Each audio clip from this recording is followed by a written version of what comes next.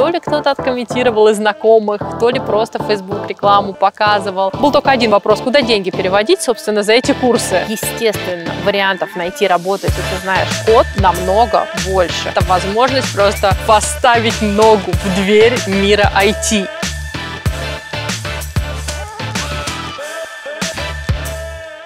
Всем привет, меня зовут Аня, а, я живу в Остине, прекрасное место, чтобы начать свою QA-карьеру. Я здесь живу и работаю уже несколько лет.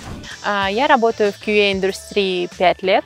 На данный момент я работаю мануальным QA. Конечно же, я прихожу к такому выводу, что мануальному QA уже не так интересно быть в этой профессии. Нужно развиваться дальше, нужно учить автоматизацию. Без знания кода уже как бы сложно. Даже в моем собственном проекте я могла бы делать больше, я бы могла иметь доступ к большему количеству ресурсов и знаний, если бы я знала код. Соответственно, это очень, в первую очередь, мне интересно, плане знаний и развития. Во-вторых, ну, конечно же, в плане денежном.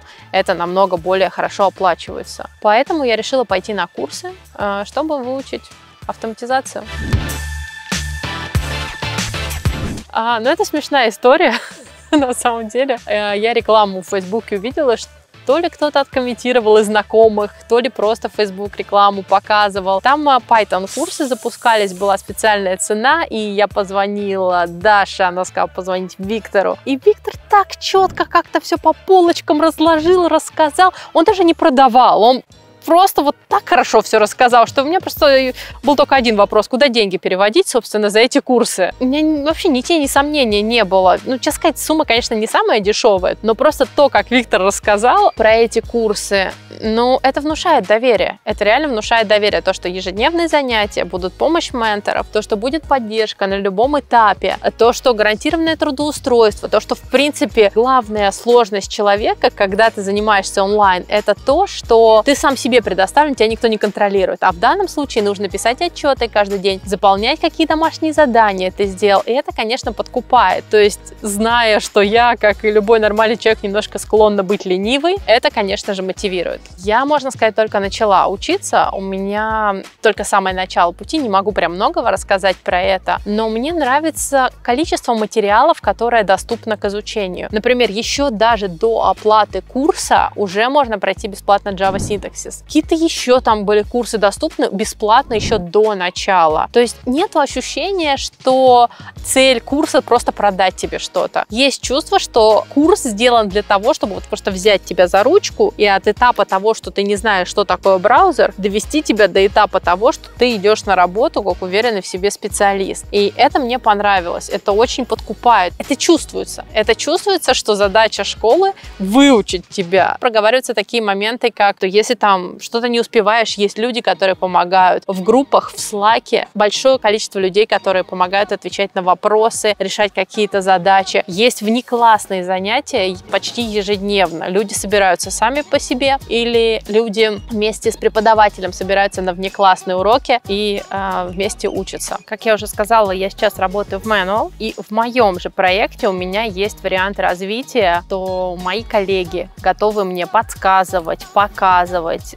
если я имею какие-то навыки, они мне помогут их применить. И это, конечно, очень здорово. Я считаю, что люди, которые начинают учиться, им есть смысл учиться. Мне кажется, что работа manual есть. Конечно, она не везде, ее не так легко найти. Большая конкуренция, естественно. Но я не хочу сейчас кого-то так разочаровывать и говорить, что нанимают только автоматизаторов и вас не наймут. Ну, как минимум, потому что это неправда. Меня наняли, я нашла свою работу. Другие мои коллеги тоже попали в этот проект, как бы это не сказка сказки это существует, это есть. Но с другой стороны, как бы другая сторона монеты, что правда, быть автоматизатором намного выгоднее, интереснее, проще, больше пути развития, больше карьера. Естественно, вариантов найти работу, если ты знаешь код, намного больше. Но я не хочу кого-то огорчать и говорить, что только автоматизация и все. Мануальная есть. И если вы сейчас только в начале своего пути, то я считаю, что это замечательный вариант найти свою первую работу. Но просто на ней нужно не застаиваться, а через какое какое-то время, когда уже чувствуешь себя комфортно, нужно развиваться и учить автоматизацию. Кому это не подойдет?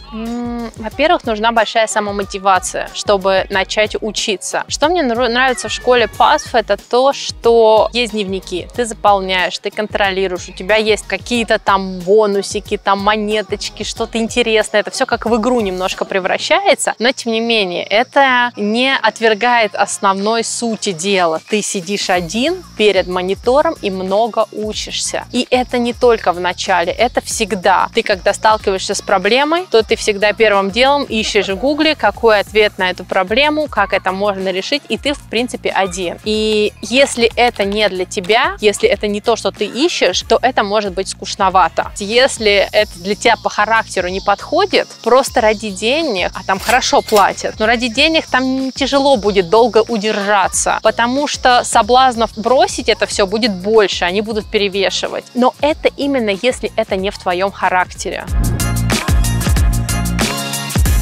Мне кажется, одно из очень важных преимуществ школы ПАСФ это то, что обучение идет на русском языке. Ну, честное слово, там нужно 100 слов знать на английском языке. И то это то, чтобы там пройти работу, ответить на вопросы. В дальнейшем ты сидишь один на один с компьютером и работаешь целыми днями. И если ты знаешь, что ты делаешь, если ты знаешь шаг за шагом структуру работы, то у тебя нет никаких сложностей с английским языком. Главное, самое сложное, это понять, что ты делаешь, и чтобы тебе не возникало вопросов, подозрений, что ты что-то не знаешь. И когда в школе идет обучение на русском, вот лично мне это на 100% информация понятна, каждая деталь. Мы носители русского языка, нам так проще. И если как бы информация усвоится у меня, то мне не важно, на каком языке она будет. Главное, что я знаю о чем.